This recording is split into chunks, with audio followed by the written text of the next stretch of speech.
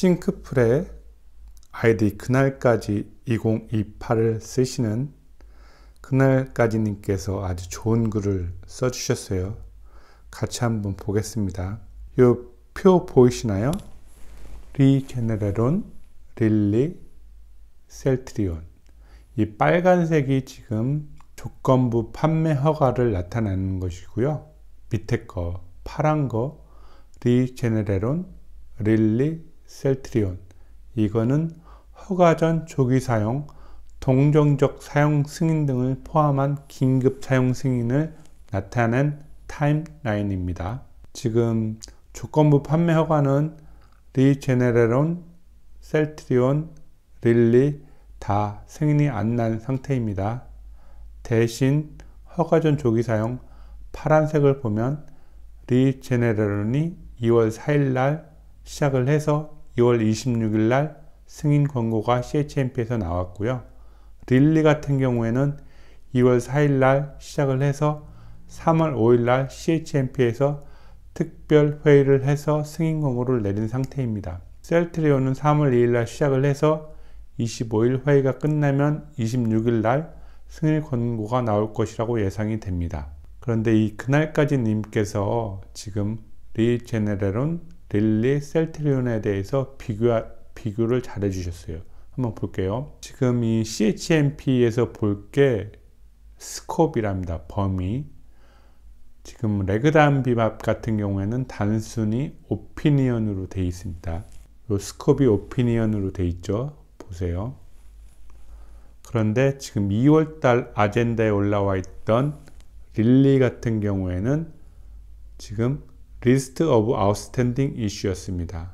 이 list of outstanding issue라고 되어 있으면 사전 검토 기간 동안 이슈가 될 만한 문제가 있었고 아직 결론에 이르지 못했으니까 이 문제도 함께 검토해 달라는 의미로 생각하시면 될 것 같습니다. 라고 해석을 해주셨네요. 그래서 릴리의 경우 2월 CHMP에서는 승인 권고를 의견을 받지 못했고 3월 초 별도의 미팅을 추가로 열어 최종 승인 권고 의견을 받았습니다. 그렇죠? 그 다음에 리제네레론 볼까요? 리제네레론은 셀트리온과 동일하게 오피니언으로 되어 있습니다.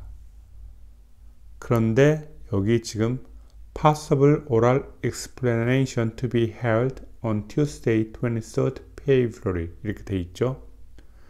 이 구두 설명회를 통해서 회사의 의견을 제시하였고 CHMP 위원들이 동의하였기 때문에 릴리와 달리 2월 회의에서 승인 권고 의견을 받았습니다. 따라서 아젠다의 내용은 단순할수록 좋다는 것입니다. 릴리의 경우 의견 범위가 list of outstanding issue라고 되어 있었고 그 결과 2월 회의에서는 승인 권고 의견을 받지 못해서 3월 5일 날 받았죠. 리제네론의 경우 의견의 범위가 단순히 opinion이라고 되어 있었으나 구두 설명회를 통해 보충 의견을 제시하여 위원들의 동의를 얻었으며 그 결과 2월 회의에서 바로 승인 권고 의견을 받았습니다. 셀트리온의 경우 의견의 범위가 그냥 단순히 opinion이라고 되어 있으며 구두 설명회도 없습니다. 이 말은 사전 검토를 거치는 동안 별다른 이슈가 없었다는 의미입니다. 그렇다면 레키로나주는 아무런 논쟁 없이 만장일치로 통과될 것으로 예상됩니다. 3월 25일 회의가 끝나면 하루 이내 그 결과를 발표합니다. 유럽 시간으로 26일 발표가 되기 때문에 주총이 끝난 이후 발표될 것 같네요. 2028년 그날까지. 더 이해가 되시죠? 셀트리온은 단순하게 스코비 범위가 오피니언입니다. 그래서 아무 문제 없이 25일 회의가 끝나면 그 다음날 26일 날 승인 권고가 내려질 겁니다. 여러분 좋은 꿈 꾸세요. 안녕.